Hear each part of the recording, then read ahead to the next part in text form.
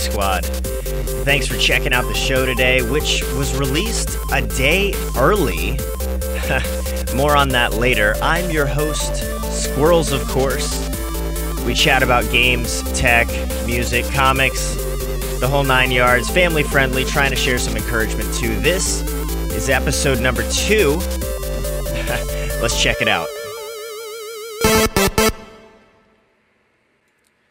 So, before we start things off, this is usually where I mention our new Twitch subs and patrons from last week, but I only streamed one day.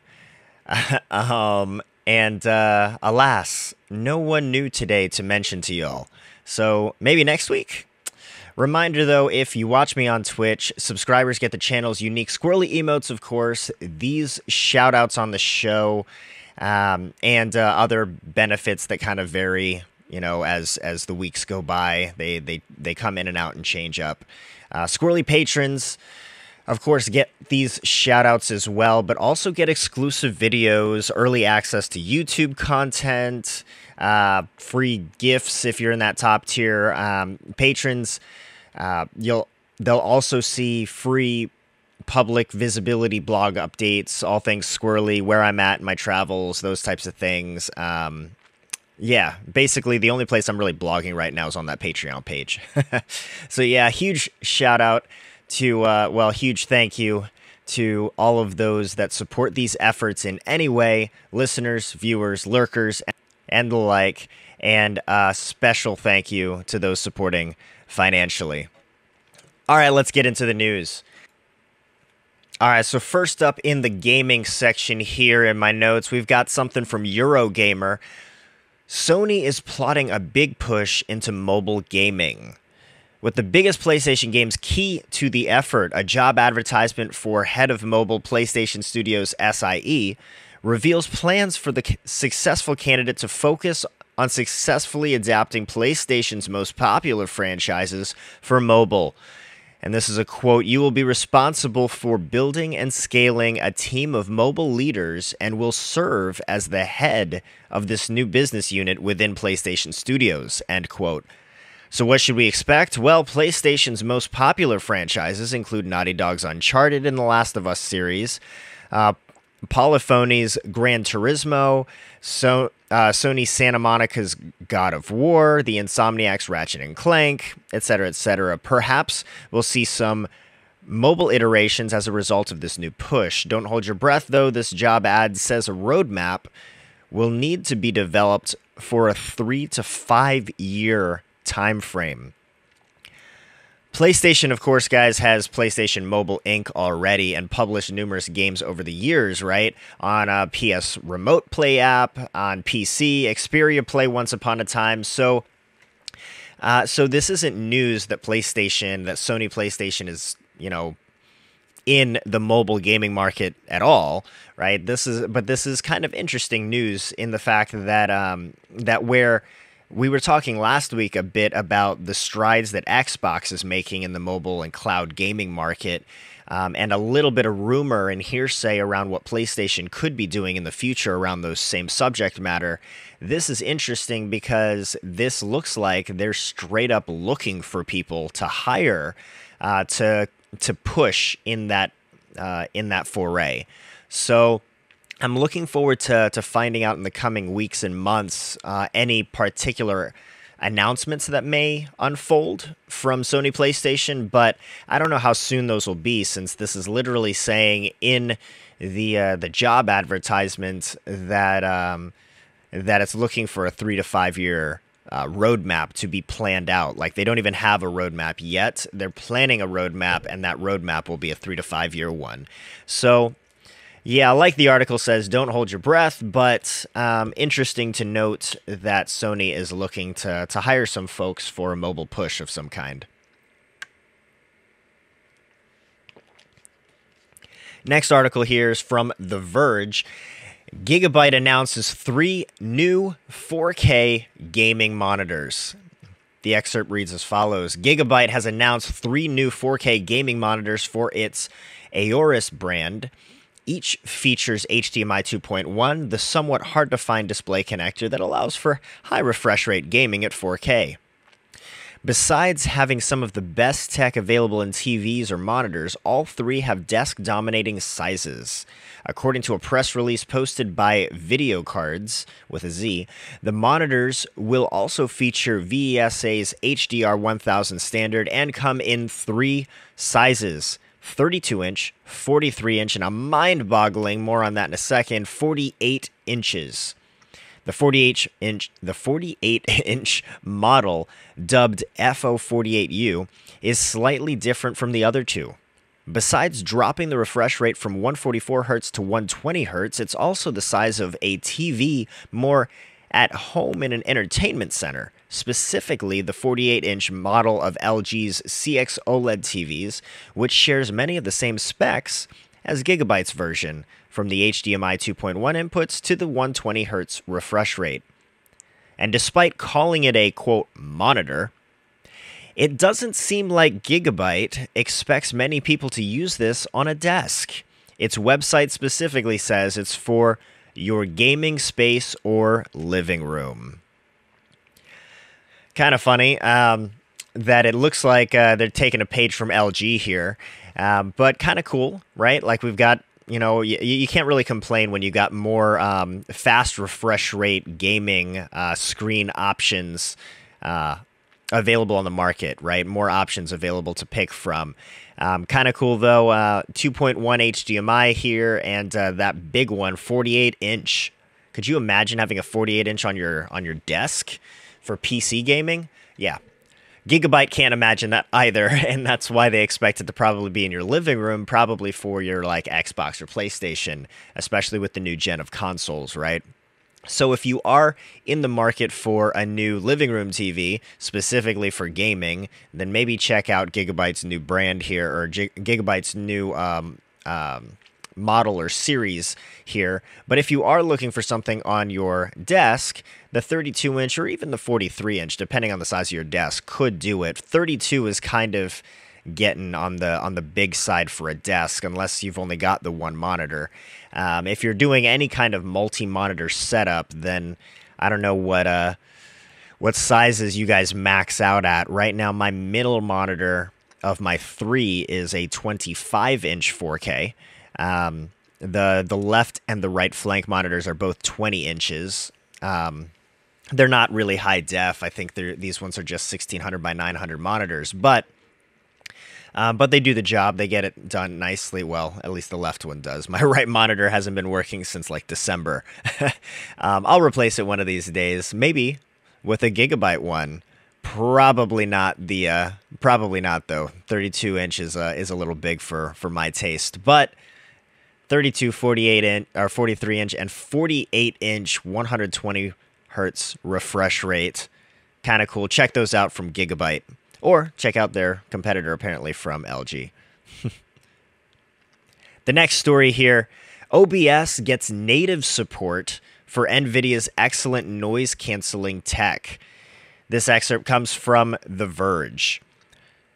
Open Broadcaster Software, OBS for short, the go to software for streamers. It's the one that I'm using right now, in fact, side note, is getting native support for NVIDIA's excellent noise removal technology.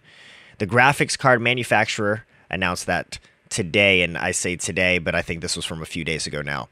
Although it was previously possible to get the same effect by combining OBS with NVIDIA's broadcast software, You'll now be able to adjust the background noise removal feature directly from within OBS.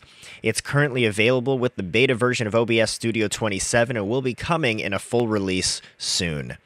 NVIDIA's noise removal technology has been around for a little while, first as RTX Voice, and then as one of the features built into NVIDIA Broadcast. The AI powered tool can cancel out everything from keyboard clacking to your PC's loud fans. It's a great addition to the streamer's arsenal, helping to filter out distracting background noise so viewers can focus on game audio and a streamer's commentary. The new integration arrived with NVIDIA's latest game ready driver, which also adds support for Mortal Shell's Mortal Shell's RTX update as well as six new G Sync compatible displays. This is pretty cool. I use a combination of different noise cancellations today. Um, when I'm streaming, um, I use a combination of a built-in noise canceller into Voicemeeter uh, Banana, which um, I'm going to talk to uh, well, actually, this week is the plan. Um, so, you know, hold me to that, folks. Hold me to that, Skwirlly Skwad. Um, hit me up in the DMs if I didn't post those on YouTube this week. I should be, though.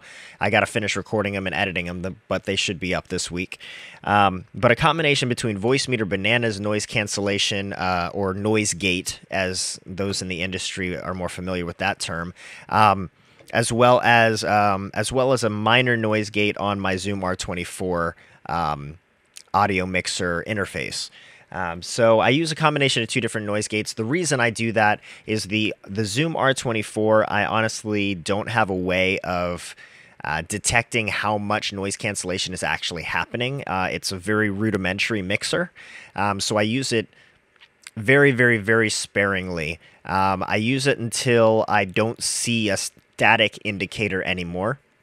But uh, things are still getting picked up, and that's very clear because when I look at Voicemeeter Banana, I can still see some some input in the dB level range. So I use the noise gate on Voicemeeter Banana to try to mitigate as much of that as I possibly can without ruining what the audio quality actually sounds like.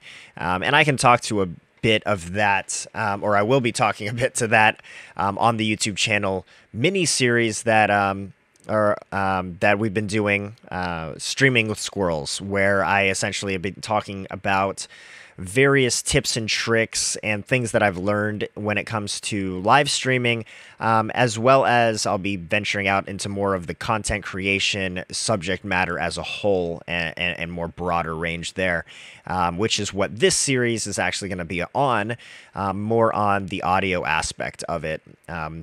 Tips and tricks on how to get a, a decent sounding audio in your streams or on your YouTube videos or Instagram videos or whatever you may be doing and may be into.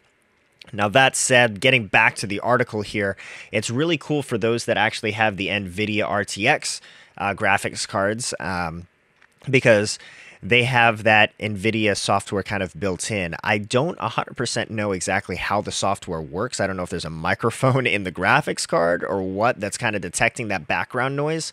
I imagine it's got to be something probably similar to that because typically graphics cards operate pretty independently from your audio, right? They're typically just responsible for the video stuff and things. So I'm not really sure um, how it works. Um, but you know, it's been around ever since RTX pretty much came out with RTX Voice, and then like they said, with NVIDIA's own broadcasting software. So it is nice to see that you don't have to run two broadcasting softwares in tandem if you want to take advantage of that RTX feature. So for those of you that have an RTX board, I actually saw one in the airport on my way home uh, this past week. It was kind of cool. It was kind of random too, actually. The guy in front of me in the security checkpoint um, when I was leaving uh, the Charleston airport, the guy in front of me had a gaming PC that he was taking as his carry-on. Never seen that one before, but yeah, he had his full desktop computer. Um, it was a it was a um, it was not a full size ATX. It was probably a mid size ATX case, but he was carrying it through security checkpoint, put it on the uh, on the conveyor belt. Uh, but anyway, he had an RTX uh, 2060 in his. I think it was a uh, an MSI uh, MSI brand RTX 2060. Um, but uh, but that was kind of interesting to see. So if you do happen to be one of those folks out there that are using an RTX NVIDIA graphics card and would like to take advantage of that feature, well, behold, it's now native um, in the latest OBS Studio. All right, that's all we've got in the gaming realm. I know that wasn't a ton of gaming news there. Um, I uh, I usually try to do a better job of seeing what I can find out in the world of gaming, but uh, we've got a couple news articles here uh, from uh, from tech right now. So in the tech category, Google is removing its Play Movies and TV app from every Roku and most smart TVs. This comes from The Verge. The Google Play Movies and TV apps will no longer be available on any Roku set top box or any Samsung, LG Vizio, or Roku Smart TV starting July 15th, Google has announced. If you have movies or TV shows purchased or rented through the service, you'll still be able to access them through the Your t- Movies and TV Shows section of the YouTube app on those devices. This change will also affect you if you used movies and TV apps to access movies anywhere, the service that allows you to redeem codes from DVDs and Blu rays so you can access your media digitally. Google has confirmed to The Verge that users who relied on Play Movies and TV to access your content will be able to do so through YouTube. So it sounds like they're just trying to do some consolidation effort here. Uh, Play Movies and the Google TV apps um, were probably just not used nearly as uh, as much as they thought they'd be used or as much as they maybe hoped that they would be used in comparison to YouTube. And of course, since Google owns YouTube, it only made sense to sooner or later just transition everything into a single platform, single pane of glass, if you will. So it sounds like they're just consolidating and moving Play Movies and TV from Google into a single app as YouTube. So depending on what systems you're using, what TVs you're using, you may have to use a browser or use a native YouTube app, but you just go to the section entitled Your Movies and Shows, which will be added if it's not there already, and that's where you would find what you would normally be watching on Google Play Movies and Google TV. Makes sense to me, honestly. Um, this doesn't really affect me too much, but if you're out there and it does affect you, this is an FYI. Starting July 15th, those apps will be consolidated into your respective YouTube uh, methods of watching. Next article here Microsoft announces Surface Laptop 4 with choice of Intel or AMD processors. So this one's really cool. At least I thought it was kind of cool. This comes from The Verge as well. Microsoft is refreshing its Surface lineup with the Surface Laptop 4 today, which now offers the choice between AMD or Intel processors across both the 13.5 inch and the 15 inch models. Both sizes will ship with Intel's latest 11th gen processors or AMD's Ryzen 4000 series processors. Microsoft is shipping its Surface Laptop 4 on April 15th in the US, Canada, and Japan, starting at 999, $999 for the AMD model and 1299 for the Intel version, a $300 price gap between the pair. The difference in pricing likely comes down to the fact that Microsoft isn't using AMD's latest 5000 series CPUs here. Instead, Microsoft is using AMD's Zen 2 based chips for the AMD Ryzen Surface Edition processors. Despite this, performance between the Intel and AMD versions could be rather similar, but we'll have to wait for the full reviews to judge how Microsoft's choices have landed. It's interesting here because I've always found that AMD's last gen processors tend to be pretty decent in performance compared to Intel's latest gen. That is obviously not always the case. It's hit or miss between desktop and mobile, particularly, but um, but generally speaking, last gen to this gen, AMD versus Intel, um, respectively, uh, they measure pretty decent to each other. Um, and on top of the fact that AMD is typically cheaper overall compared to Intel.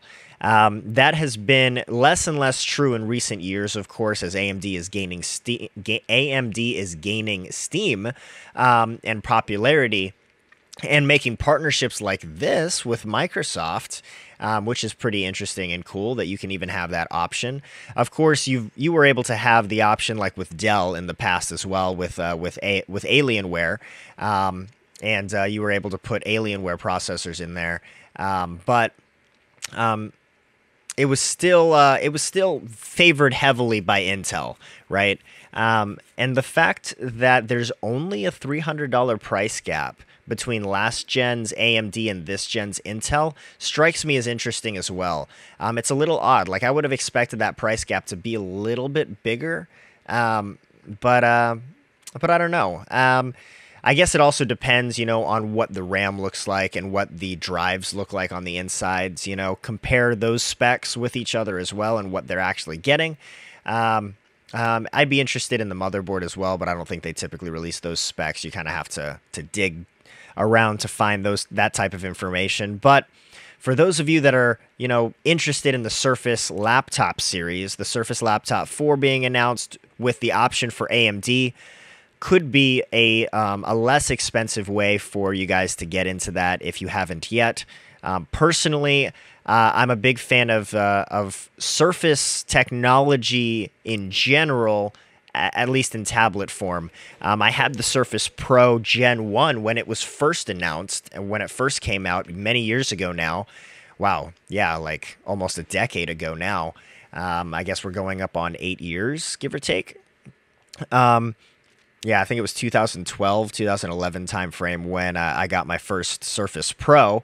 Um, and I loved that thing. Uh, it was it was wonderful uh, for a while, and um, uh, after a few years, you know, the the technology got a little outdated. I replaced it.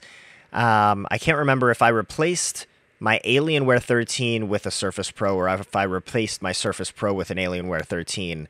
It's it's kind of a blur now, um, but nonetheless, it did get replaced. But years and years and years later, here we are. Last year, I've now had just a little over a year now. I've owned the um, the Surface Pro Seven, I believe it is. Um, so it's still the tablet one, not the laptop, but I love the thing. Um, of course, it's uh, it's more of a laptop the way I use it with the attached keyboard. Um, but I mean, you can detach that thing or just flip it around and use it as a tablet. Um, I have the Surface Pen with it, um, and I Photoshop draw with it. You guys have seen um, streams in the past where I've had Gotham on and we've been drawing on my Surface in Photoshop. It's been a great time. Um, I was just using it last night actually to uh, to create some Skwirls graphics uh, for my phone wallpaper, which um, is also a Surface now. Um, as of this past week, literally a few days ago, my Surface Duo came in the mail. Yes, the phone is a year old, I know, um, but we just made a, a carrier change. Um, on our cell phone plan, and uh, I've been wanting to to see what this Duo is all about. It does have mixed reviews. I mentioned that last week, but so far, folks, I've been loving this uh, this Surface Duo. Um, super super productive. Um, and it's not nearly as massive in my hand as I thought it was going to be. It's very lightweight. It's super thin. Um, I generally use. I've been using it the last couple days most um, in the full 360 flipped mode, so that it's mostly like a like a single screen phone. Um, but when I want the extra productivity, I just unfold it and use both screens accordingly.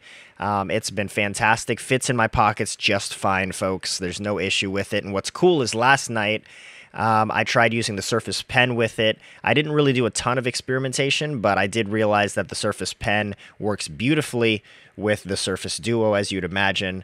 Um, so, anyway, a little bit of a free advertisement for Microsoft there. Uh, I guess uh, going back to the point here, the Surface Laptop 4 was announced. AMD is an option. Check it out if you're into that. All right. Moving into the entertainment section here of the news, we've got one, two, looks like three articles I've got planned out for you guys today. The first one here comes from comicbook.com. The Powerpuff Girls official first look revealed by the CW. It also came with character descriptions as well. Um, I don't have a ton to read from the article itself. This uh, article itself, aside from these character descriptions, um, but yo, I didn't even realize Powerpuff Girls was having a live action TV show happening on the CW until I saw this article. Kind of nuts. Like, what? What? Powerpuff Girls live action? How is that even going to work? I don't know. Um, but the character descriptions um, are as you'd imagine here. So we've got Chloe Bennet as Blossom Utonium. Though she was a spunky, conscientious, Little Miss Perfect child who holds several advanced degrees, Blossom's rep- repressed Kindle superhero trauma has left her feeling anxious and reclusive, and she aims to become a leader again, this time on her own terms. Then we've got Dove Cameron as Bubbles Utonium. Bubbles' sweet girl disposition won America's heart as a child. She still sparkles as an adult, but her charming exterior bellies an unexpected toughness and wit. She's in, she's initially more interested in recapturing her fame than si- than saving the world, but she just might surprise us and herself. And then we've got Yana Perrault as Buttercup Utonium. Buttercup was the rebellious BA of the Powerpuff Girls in the heyday. More sensitive than her tough exterior suggests, Buttercup has spent her adulthood trying to shed her Powerpuff Girl identity and live an anonymous life. So it sounds like we've got um, like a sequel series of sorts, right? Like it sounds like this is going to be trailing their lives as adults, that part made me suddenly reinterested. Like, if they were going to be like rebooting the Powerpuff series, but as live action, I don't know how I feel about that. I feel like that would be goofy and not, I don't know, like, ah, that just, that would hurt. There would be something inside of me that would just be like, nope, I'm, I would just, I would rather rewatch the, the original cartoon, which I wouldn't do anyway. But having watched Powerpuff Girls on and off as a kid, and now seeing that this is at them as an adult, well, it sounds like it's right up the CW alley, to be honest. Right, all the drama, the drama and angst uh, of the CW TV shows. It sounds like Powerpuff Girls as an adult would uh, would work just fine and fit right in to the CW family. So but uh, but anyway, the original article, the purpose of it wasn't just the descriptions; it was actually revealing the first look at the Powerpuff Girls. So do check that out. I saw this on ComicBook.com. I'm pretty sure every major news outlet now that would report on this, like IGN and all of them, would see it too. Just do a quick Google, you'll find them. Um, they're the it's basically just Chloe Bennet, Dove Cameron, and Yana Perrault with green, blue, and red backgrounds, honestly, but hey, you know, first look is a first look, right? uh, also, uh, regarding the CW, the CW dropped last week the trailer for the second half of season one of Superman and Lois. So if you were watching that show, which I was, and it's a fantastic show, definitely recommend it. Uh, this does not fit the typical mold of the CW shows, by the way. Um, not not to the fullest extent anyway. I feel like Superman and Lois had a little bit better budget. Um, they've got uh, the the acting is definitely better in Superman and Lois than it has been traditionally in the other CW shows, including the rest of the Arrowverse shows. Production quality definitely seems to have been taken up a notch in comparison, especially to their cousin show, pun intended there, Supergirl. Um, so uh, so you can tell it's a it just feels like a higher quality show overall. Um, the writing is definitely a bit better here uh, compared to the other Arrowverse shows and the other CW shows. Um, it's unfortunately that they had to take a mid-season hiatus. Um, and uh, Supergirl was kind of filled in there. We talked a bit about that last week. Uh, but they did release the trailer for the second half of the first season. So if you've been watching it or you're interested in where the show is going, check out that trailer. Next article here comes from IGN. Black Panther 2 producer rules out Chadwick Boseman cameo. The late Chadwick will not be making any sort of cameo appearance in Black Panther 2. This comes from Marvel Studios producer Nate Moore saying to Vanity Fair. And this is a quote here No, I can say that is not going to happen. I would be honest if I was. Chad's passing is a whole life thing, and I love the guy as as much as the character. I think we have very we have to be very careful and thoughtful about when he appears because he meant so much to a lot of people as much as he meant to us. But yeah, we wouldn't use that as a come next week, maybe you'll see Panther. We wouldn't, and he's not. End quote. Late last year, Marvel Studios executive producer Victoria Alonso sum- summarily dismissed the idea of using CG to recreate Boseman. No, there's only one Chadwick, and he's not with us. Our king, unfortunately, has died in real life, not just in fiction, and we are taking a little time to see how we return to history and what we do to honor this chapter of what has happened to us that was so unexpected, so painful, so terrible, really. Alonso said that in November. Since the actor's untimely death, the possibility of CG Boseman has been in the back of many Marvel fans, especially considering Disney has previously used CG to resurrect the long dead Peter Cushing as Grand Moff Tarkin in Rogue One, alongside a brief CG appearance of a young Princess Leia. Disney then used archival footage of actress Carrie Fisher to insert her into scenes in Star Wars, uh, The Rise of Skywalker, following her sudden death. The recently announced Wakanda TV series may give Marvel the room they need to explore other characters that could stand alongside Black Panther. Interesting, interesting, interesting. If any studio, if any film studio would have the uh, the courage and and the finances to fund an effort to CG an entire movie with Chadwick Boseman as Black Panther post his uh, passing, it would be Disney, right?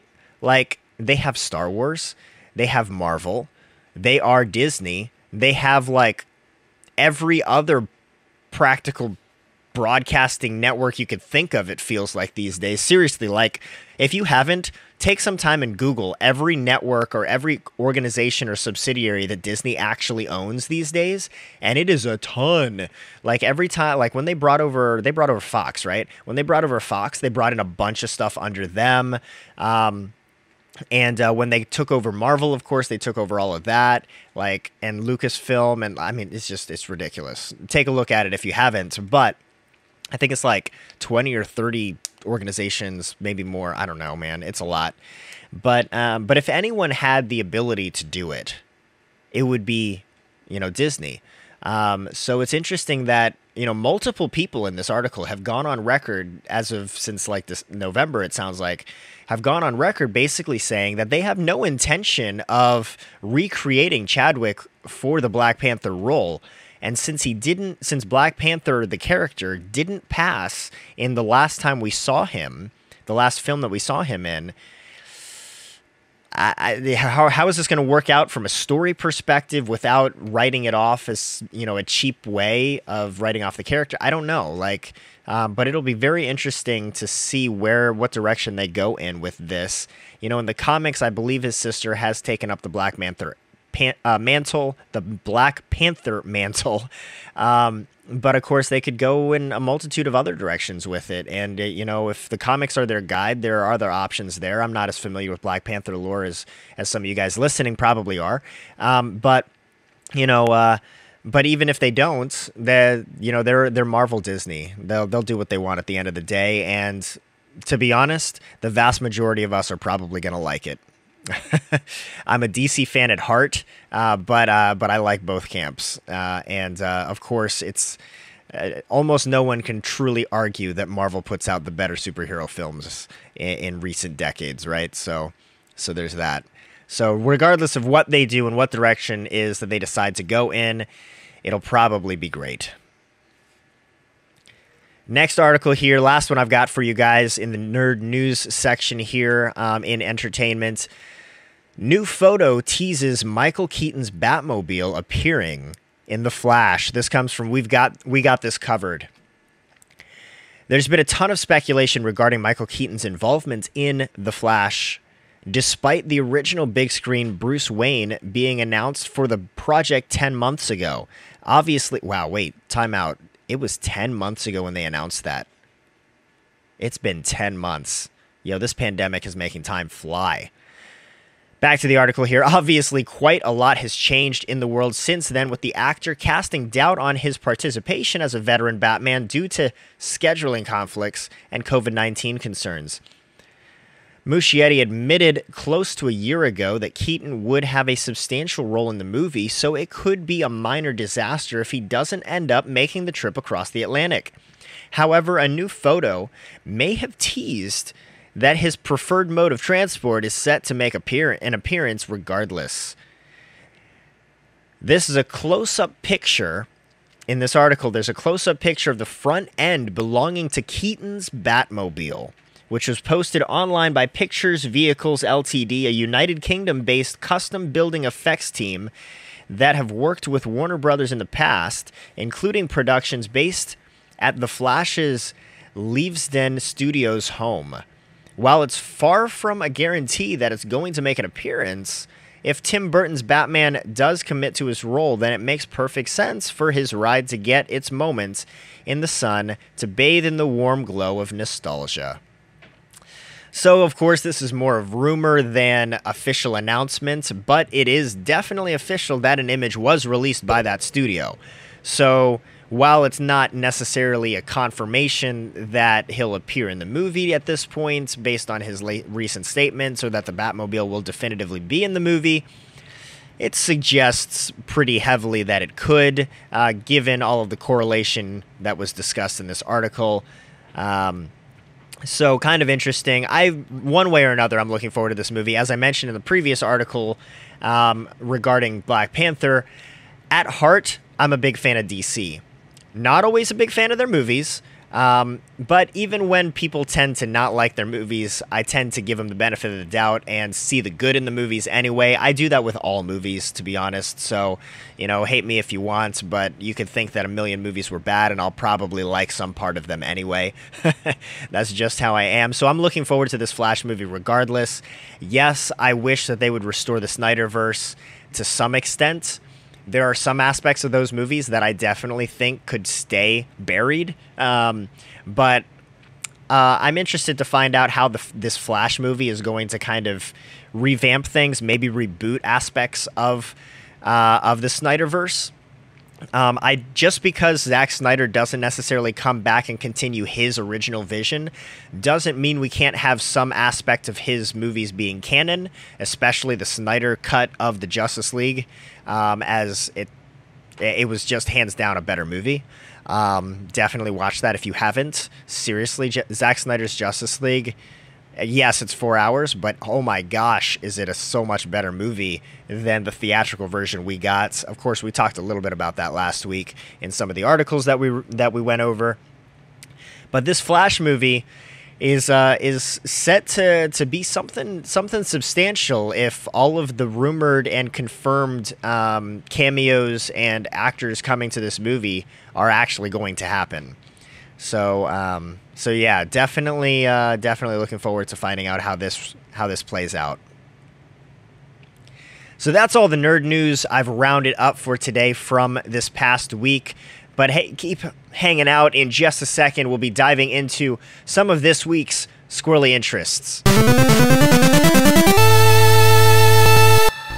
Alrighty, y'all. So this is the part of the show where um, I tend to talk to what I'm doing in gaming, content creation, streaming, etc., like this coming week. So, firstly, you may have noticed, uh, as I mentioned right at the start of the episode, that this episode today was released a day early. Yes, now that I understand kind of the ins and outs of how to get an actual episode posted using Anchor FM, um, you know, we've done this for real now, officially, as of last week. I think we can consistently get these things released on Sundays rather than waiting to Monday.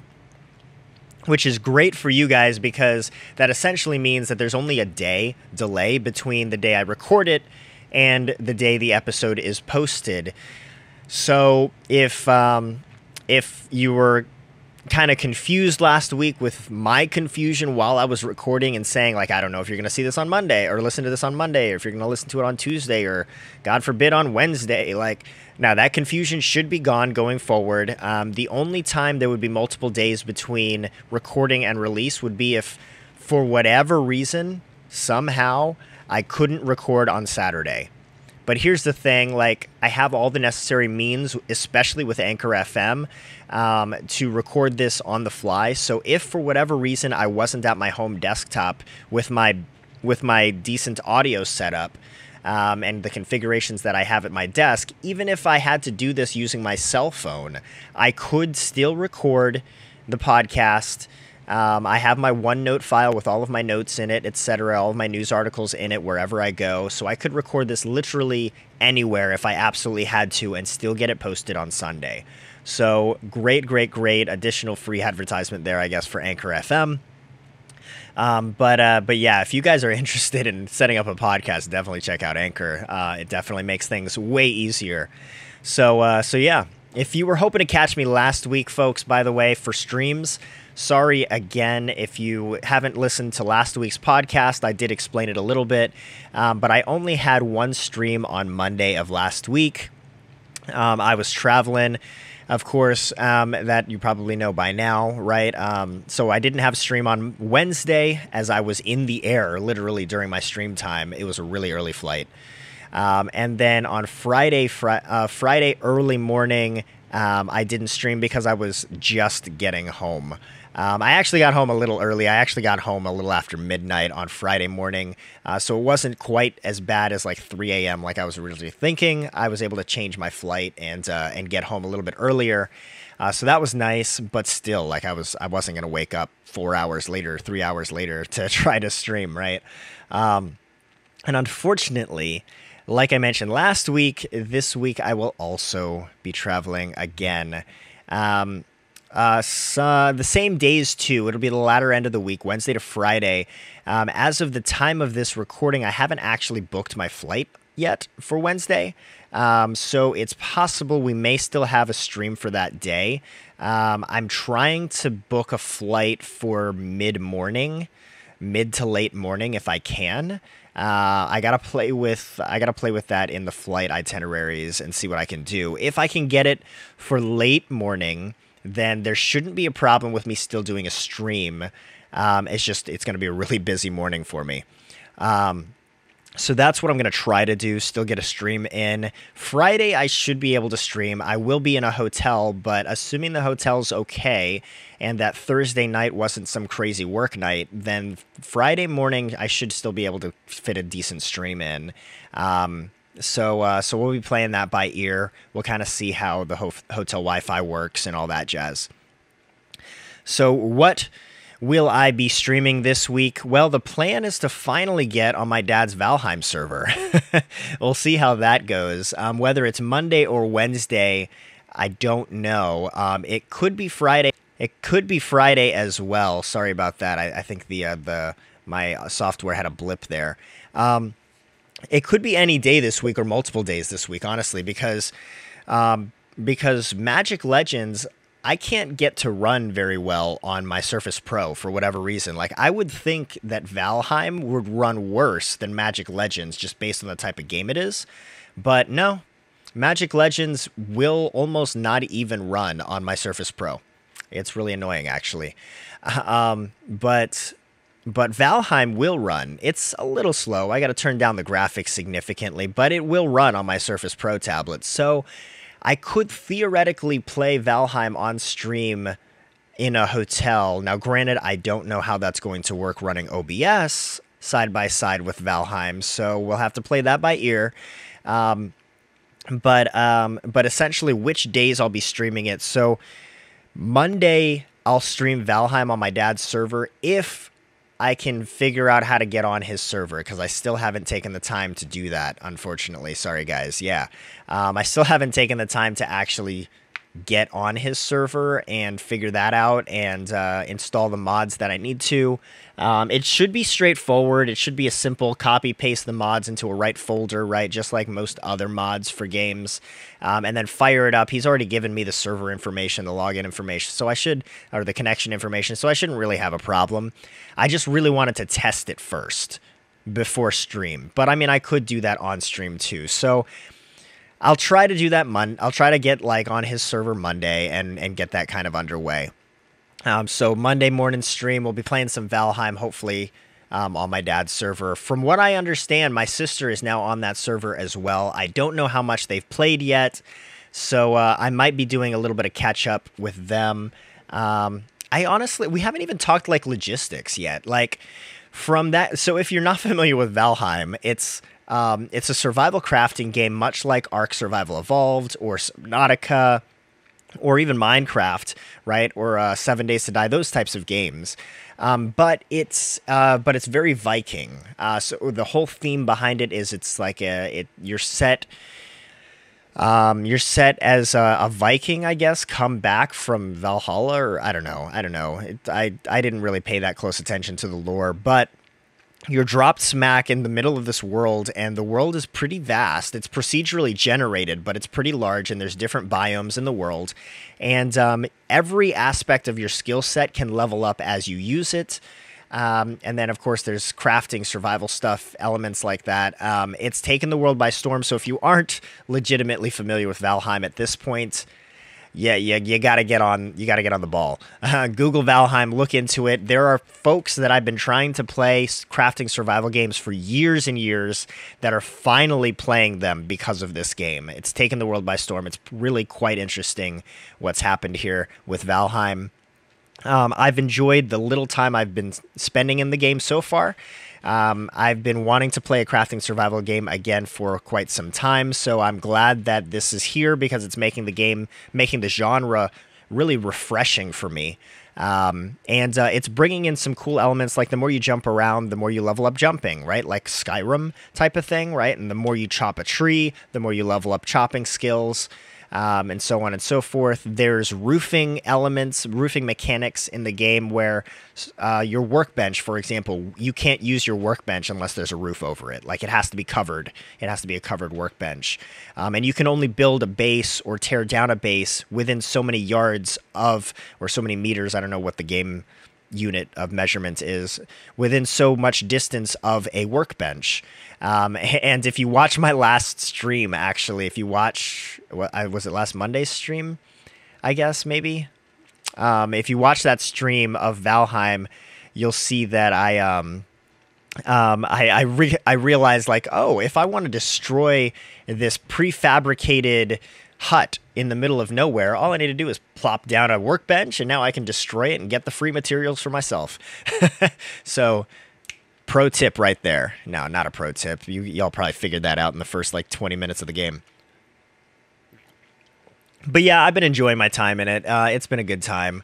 Um, and I'm looking forward to playing with my dad and, and my sister too. I haven't been playing video games with my sister in a number of years, so that'll be pretty cool um, to uh, to enjoy that with her. So yeah, um, so Valheim is what we're looking at. Of course, Magic Legends is always a nice fallback, uh, but I can't do Magic Legends in the hotel, so we'll, we're gonna have to figure that out. I don't know, play it by ear. I might play a mobile game and uh, and connect the mobile game maybe. Actually, that's not a bad idea. You know what I really should do? I should see if I can use a cam link. I should see if I can use a cam link to game capture my phone. Yo, that would be pretty cool. So I've tried phone capture stuff um, in the past using like a software like Mobizen and other similar software to that. Um, and I've used um, my my previous phone was a Samsung Galaxy S10, and I was able to use Samsung DeX um, to to try to stream stuff as well, but that essentially treats my phone as its own desktop computer, and I can't really connect it to my Surface Pro anymore like that.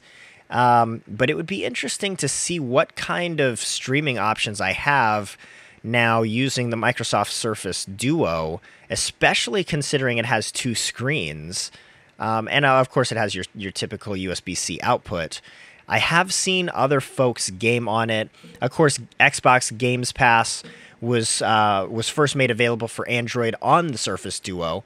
Um, now it's available for Android wide, but I'm gonna definitely be looking into more ways to stream with my Surface Duo while on the road. That'll definitely be interesting. I'll have to see if there's gonna if there's any easy way for me to capture the screen output into my Surface Pro, and so it'd basically be like a two computer setup, uh, a two device setup for streaming, where you know I'd be streaming on the Surface Duo.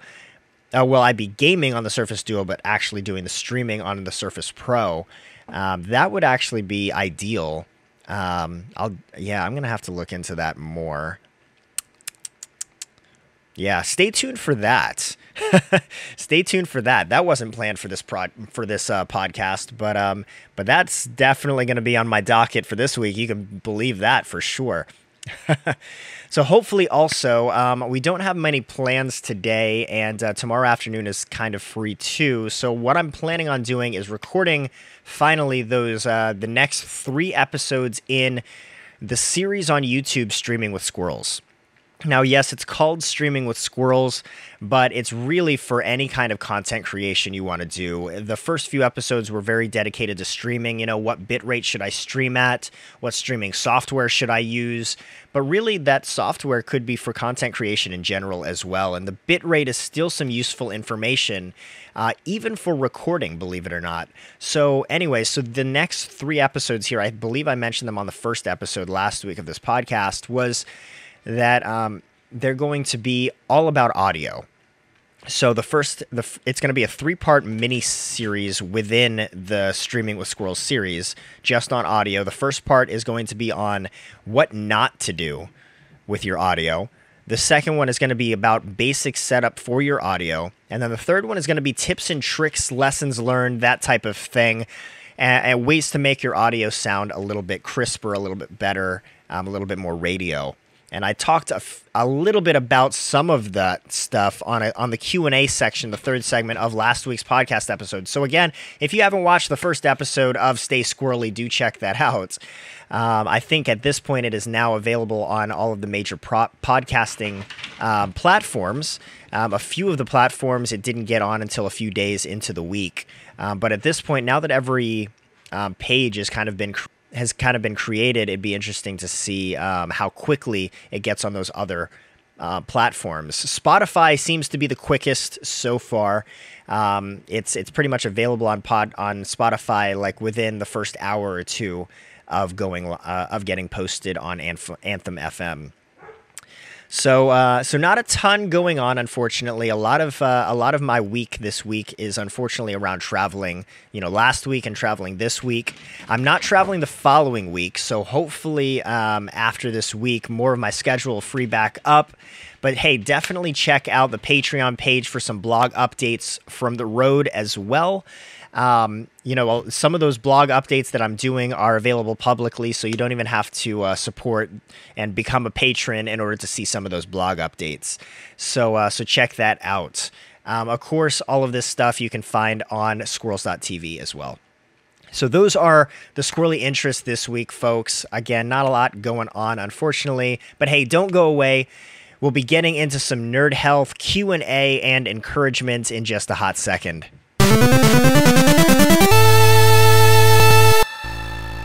Okay, so what am I diffusing today and why should you care? So I've got the Triforce of essential oils blends today, folks. That's what I call it anyway, the Triforce.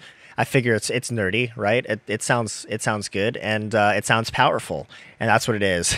so it's a staple regardless of the vendor that you get it from, whether you're getting it from Young Living, from myself, or from another Young Living rep, or whether you're getting it from one of the other essential oils brands out there. Um, of course, I always strongly recommend that wherever you get your essential oils, that um, that you get something that is uh, that is not just organic but 100% essential oil. You do need to be careful about that on the labels. Um, not all essential oils that say that they are you know just pure essential oils are 100% pure essential oils. So you do need to be careful of that. Um, you can really tell with lavender, by the way. Um, just side note, rabbit trail. You buy lavender lavender at like Walmart for like two bucks, it's probably not going to smell the same as buying lavender from one of the the wholesale or um, or other organizations. But anyway, I digress. The Triforce of essential and essential oils blends is as follows: lemon, lavender, peppermint.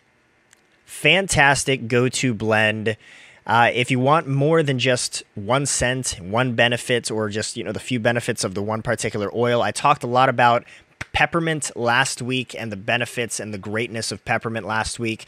You can also use peppermint, by the way, on your forehead to like eliminate headaches, uh, help with headaches and migraines, or on the back of your neck. Um, lavender. A lot of folks use lavender to soothe their skin, right? Uh, it it's a it's a like a skin rejuvenator, but it can also be used as like a as like an owie type oil. uh, like uh, I got a I got a cut or I got a rash, rub some lavender oil on it, and it'll help uh, soothe.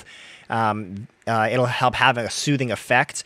Uh, lemon, with the citrus aspect of it, it tends to be a cleansing agent, uh, a purification agent. People use it in cleaning products. Um, people use it uh, to help with um, with aiding your immune system as well. Um, so why not put them together, right? Lemon, lavender, peppermint. That's right. This blend is like such a go-to staple for so many reasons in my household. My wife and I, literally, if we don't know what we want to diffuse, but we want to diffuse something, we just default to lemon, lavender, peppermint. Lemon, lavender, peppermint every time. It smells great as the combo, but you'll also, uh, but you'll always know that your body's getting some kind of, uh, you know, boost out of it as well. So hey, folks, use this in your gaming life. You won't regret it. Of course, if you don't know where to take a look at some essential oils, you can also check out um, me and my wife. We are uh, Young Living uh, distributors, so you can check out our site at myyl.com slash skwirls. That's slash S-K-W-I-R-L-S, of course. Um, you can also find a link to that if you check out the health, the Skwirlly health section of the website skwirls.tv. All right, moving on to the Q&A parts here. Reminder if you'd like priority with a question that you might have or, you know, a shout out on the episode, of course, or access to early exclusive content, remember to check out the new Patreon page, right? We've been talking about it a bit here. So Q&A with Skwirls. We've got a few questions here from some of the listeners, some of the viewers. The first one here comes from Lijai, Lijai, who says, "Can you tell us where you go when you travel for work?" Can you tell us where you go when you travel for work? Yeah, absolutely, I can. Um, I was actually going to mention it earlier in the episode, but I knew this question was coming, so I saved it for here. Um, so last week I was actually in Charleston, South Carolina. Of course, you guys know that I'm in Delaware, right? Um, if uh, if you're in the Charleston area, hit me hit me up with a DM and uh, and and maybe we can connect and uh, and play a game or something. But uh, well, you know, not in the Charleston area anymore. Sorry, that was last week. um, but yeah, last week I was in Charleston. I was only there for like a day and a half. I mean, like it was wicked short. Um, but this coming week, I'm actually heading to Dayton, Ohio. Now, while Charleston was great, the town of Charleston is a happening place, super fast growing. Um, uh, a lot of a lot of cool restaurants, a lot of cool scene. The water's really nice the weather was fantastic last week. Um, I think the first evening that I was there, it didn't get lower than like 70 degrees.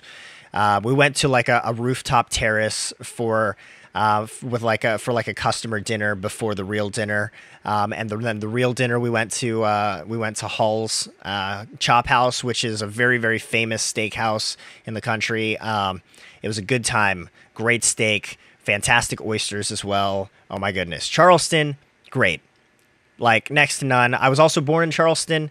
I don't remember it from my childhood. I was only there for like a year and a half before we moved to the Philippines. And but anyway, um, it's always nice when I can go back to Charleston. I've been back a couple times in my adult career life, um, and uh, it's a really cool town. This coming week, though, Dayton, Ohio, not really looking forward to that one. Sorry if you live in Dayton, but uh, there is not a whole lot in Dayton. It's kind of like Delaware. It's just a different state. Yeah. It's kind of like living where I live now, just not. In fact, I don't even know. In fact, I'd almost venture to say that Dayton might be less exciting because there isn't beaches with outlet shopping and it's not really close to anything. Well, actually, no. I take that. I take the last part back. Um, it is close to like Columbus and Cincinnati. Um, it's like an, an, hour, less than an hour from Columbus, less about an hour to Cincinnati, maybe give or take. Um, so it's it's a little close to some things. Um, in fact, I'm actually going to be flying into Columbus, Ohio, because I've got some coworkers and friends in Columbus. So the first night we're going to have like dinner um, with the friends in Columbus, stay the night with my boss. Um, we're we're carpooling this trip, so my boss and I are going to be staying the first night in Columbus, and then we'll drive the next morning over to Dayton. I've got some some work that I'm doing out there at the base, um, and uh, we're going to spend the next two days on site with the customer there in Dayton, and then we're going to be flying back home, uh, back in Columbus again. So yeah, so no, I have no problem like telling where I'm going. Um, I I sometimes have a problem broadcasting it overly openly what days I'm going to be gone and when I'm going to be gone, just because um, I, I, like to be conscientious of my family being home. But um, right now we're we're staying with the in-laws, so it's not like my my wife and kids are home alone. Um, without me, you know. Um, so I might be a little bit more hesitant to mention when and where I'm going before before I go, um, when we're back in our own place. Um, that might be more of like a, hey guys, I'm I'm I'm traveling this week you know, and and play it by ear with that, or it might even just turn into me saying, uh, me me letting you know the day of, hey, you know, d- just to to be conscientious of the security and safety of my family. Um, it's not t- quite as bad these days in the pandemic world, um, just because there are fewer people outside of their homes anyway. But um, but I always like to be mindful of that because people have mentioned it to me before like hey you know you might you might want to keep in mind you know how open you are about your travels considering you have a wife and kids um, and you're leaving them on these travels. So I, am I'm, I'm trying to be more mindful of that. But like I said these days um, we're sharing a home with uh, we're, we're, we're staying we're being hosted by my in-laws right now at their place so it's not quite as big a deal but yeah, Elijah, I thank you for that question. Typically, though, yeah, no, I don't have a problem telling where I'm going. Tommy O has the next question Where do you find your golden acorns? Great question, Tommy. Tommy O, great question. I find them pretty much anywhere. Um, actually, uh, a couple years ago, when we kind of first started the Golden Acorns, a lot of them I was finding in my travels. Because, um, like, when you go and visit, uh, like, office buildings and things, uh, as you could imagine, a lot of office buildings have like inspiring and inspira- uh, and encouraging quotes like just postered up on the walls or in cubicles. And I would find one that I really, really liked, and I'd just take a picture of it really quick, and, and I'd try to remember it for the next golden acorn. Um, so yeah, I um, I get them in in those trips. The very, very, very beginning of the golden acorns, though, I knew that I wanted to do them, and I was literally googling them. I would Google like encouraging quotes and I'd find like an article with like 50 encouraging quotes or 101 encouraging quotes. And I would just skim through them and find my favorite ones and just jot them down really quick. And that turned into the first 10 to 20 golden acorns, um, with the exception of, you know, ones here and there that were from business travels.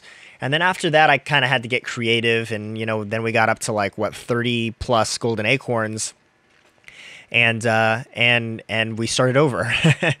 and we started over with the golden acorns and now we're this this coming or this past week we just did golden acorn number 14 in our reruns of golden acorns so this coming week is going to be of course golden number uh, golden acorn number 15 but yeah, no, I get them from just about anywhere. If you guys have like a, a, really cool quote that you feel would be a great encouragement encouragement to others, or an inspiration to others, or motivation to others, by all means, you know, um, let me know in a in a chat sometime or in a DM, um, and uh, we'll uh, we'll we'll include that on one of the uh, future golden acorns. Yeah, no problem. Uh, next question here comes from Prof XLR. Prof XLR. I'm assuming that uh, that you have something to do with with audio there with your name, Prof. But uh, this question is. Why do you use a PlayStation controller instead of Xbox for gaming on your your computer? Well, technically, I was using a Steam controller for the longest time. no, I only recently moved to uh, migrated to a PlayStation controller uh, as of this past year because right before the pandemic, I finally I finally bit the bullet and got my PlayStation 4. Um, pre- previous to that, I only had a PS2 and wasn't even using it anymore. So no, I was using a Steam controller, and to be honest, folks, I realized that the Steam controller has pretty negative and mixed reviews. But I really, really like my Steam controller. It's fantastic for mapping keyboard and mouse. Uh, in a game that does not have native native controller support, if you want to play it on a controller, Steam controller is really the best way, in my opinion. Um, Now, of course, fortunately with Steam, uh, you can find mappings to uh, to controller for games that don't have native support. Um, you can find those and download those mappings, and it's not that big of a deal. Uh, but I really like the trackpad aspect of the Steam controllers. So, uh, so yeah, I was using that for the longest time, and I still have two con- two Steam controllers in my possession. I keep one um, typically for travels, just in case, and then I keep one at home uh, at my desk. Uh, likewise, I do have two PlayStation 4 controllers, one for travels and one for at my desk with the PlayStation. Um, but yeah, no, I have been using a PlayStation controller as of late for uh, computer games. Um, but the primary reason is just because I don't have an Xbox. Honestly, Prof. Um, I don't own an Xbox. Now, grant in college, I did have uh, an Xbox 360 controller. I don't know what happened to it. Uh, I had an Xbox 360 controller in in college because anybody that had an Xbox, it was just a lot easier to have a, a 360 controller to uh, to link up to the Xbox rather than having to find a controller or share controllers. Uh, it was just easier that way. Everybody else had Xboxes, um, so so yeah, like the main reason I ju- I just don't have an Xbox console, so I game with a PlayStation controller. Um, but I am learning more and more and more, especially with Xbox Games Pass being a bigger and bigger deal in Microsoft Windows, especially with the Surface Duo that I now have in conjunction with the Surface Pro that I have in travels. I'm realizing now that it might be better to travel with an Xbox controller rather than a PlayStation one. I'll have to see if there's any issue playing using an Xbox controller with uh, with PS Remote Play because I do use PlayStation Remote Play in my travels from time to time to be able to uh, play my PlayStation while on the road, you know, streaming it from my home.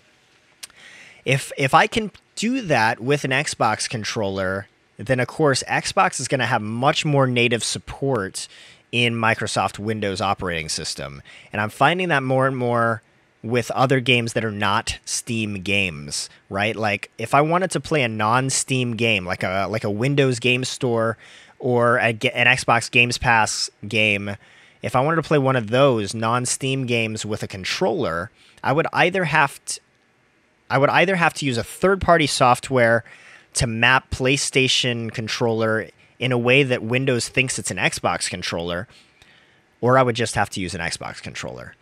Uh, obviously, one of those is easier than the other. So, to be honest, Prof, I might start using an Xbox controller in the future, and it might not be that distant of a future. Uh, I've actually already been thinking about it before you asked that question. So, yeah, we'll see. We'll see. But thanks for the question.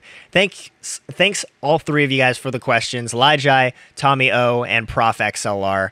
That's the last question, though, that I've got for right now. But as I like to do, you know, on the Twitch streams, and as we've already kind of talked to the Golden Acorns, I want to mention last week's Golden Acorn for you guys one last time. Golden Acorn number 14. This comes from Will Rogers. Good judgment comes from experience, and a lot of that comes from bad judgment. Good judgment comes from experience, and a lot of that comes from bad judgment.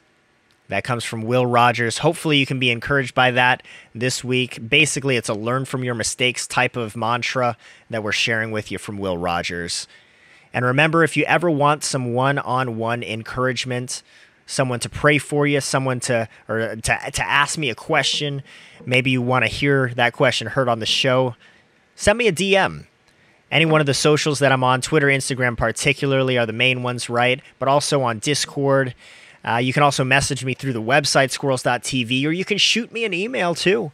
Uh, info at skwirls.tv is the, in, is the email that I'd use. You can also send a voice message via anchor.fm, which is pretty cool. Check out anchor.fm slash skwirls. That's where these podcasts are initially hosted and then distributed. And it is through there that you can find all of your favorite podcast platforms with Stay Skwirlly. And you can also create some voice messages and we can host those voice messages on the show. Pretty cool, actually. Um, now, keep those things, you know, family friendly, please, as that's what we like to do. But hey, that's going to conclude the show for today. Huge thanks for listening, folks. Huge, huge thanks. Please, please Remember to like, subscribe, review the podcast wherever you happen to be listening from. It helps a ton to get viewership and to get the squirreliness around the world. But as always, folks, stay skwirlly.